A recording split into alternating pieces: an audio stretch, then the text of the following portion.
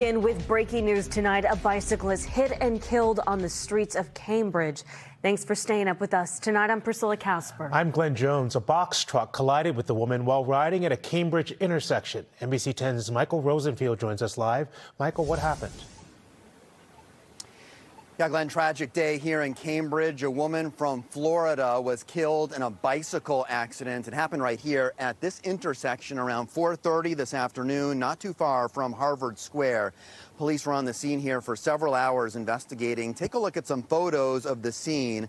The accident involved one of those rented blue bikes and a yellow box truck. Police tell us the truck and the bike were heading in the same direction here on Mount Auburn Street. The truck turned onto DeWolf Street and collided with the bicyclist. According to the group Cambridge Bicycle Safety, witnesses report the bicyclist was pulled under the truck and dragged.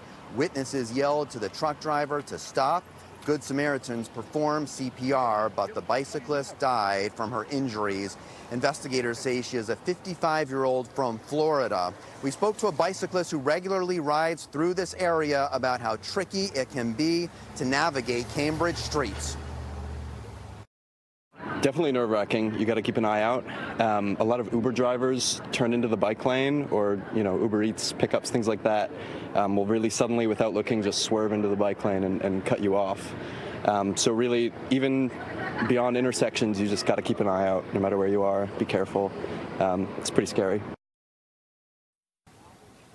The truck driver did remain here at the scene. Police have not said if he'll be facing any charges. Live in Cambridge, Michael Rosenfield, NBC 10 Boston. Michael